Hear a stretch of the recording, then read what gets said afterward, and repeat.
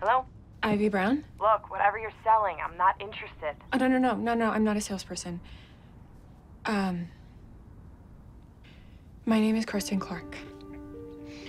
I'm your sister, half sister. My my father's Daniel Stinger. Ivy? I know who you are. I'm hanging up. No, no, no, no. Wait, wait, please. I'm looking for our father. Don't call me again.